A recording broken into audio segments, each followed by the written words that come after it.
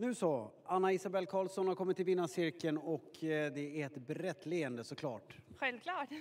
Hur kändes det där? Ja men eh, super, superbra. Eh, Hur upplevde du slutstriden då? Jag hörde att du, du manade på vad som gick där bakom. Ja men det gjorde jag. Ingen hade sagt innan, du behöver inte köra till ledningen men bara lugnt runt och försiktigt och sådär och du behöver inte rycka ner norsken. Och vi öppnade då från förra gången för hon har börjat tagga till lite grann men där 500 kvar tänkte jag här ska jag fan inte förlora så den, den åkte ner. Hur var känslan över mållinjen?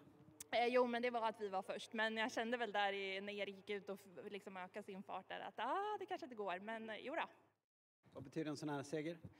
Ja, men det betyder jättemycket. Inger här, hon är ju liksom eh, gammal i gamet och jag körde med premieloppen när jag som tvååring så det här är en fin häst men den fattar absolut ingenting. Sen har var det strul, det får väl Inger ta sen men eh, sen ringde hon här för några månader sedan när jag hade fått min son och sa kan du köra en, kan du köra provlopp?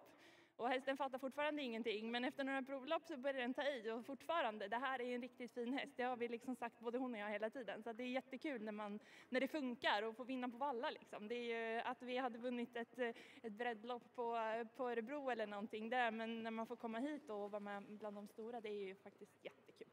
Härligt att höra, stort grattis! Tack så jättemycket. Så vill vi ju höra då Inger, eh, det- det låter som att det har varit en lång väg innan, innan, eh, innan eh, Celarico har, har du förstått vad det handlar om. Ja, det började redan som när jag skulle köra in Då gjorde hon illa benet så hon blev stående i box i två, tre månader.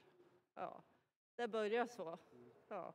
Och sen, eh, sen när vi skulle köra premie då, då var hon sjuk innan. Jag hade bara en chans på mig att köra. Och det gick vägen för då körde Anna Isabel. och det gick, det gick ju vägen. Ja Och nu står ni här och det måste ju... här. Ja. Och sen har hon gjort illa sig väldigt mycket har hon gjort det. Och så jag har liksom fått, fått stanna upp och vänta med att starta och allt det här. Och sen, ja, hon har ju aldrig varit med i provlopp heller för det har ju inte funnits något. Utan jag har fått suttit och kört själv. Och sen eh, var vi med i provlopp då. Vi har kört två eller tre provlopp med henne. Ja.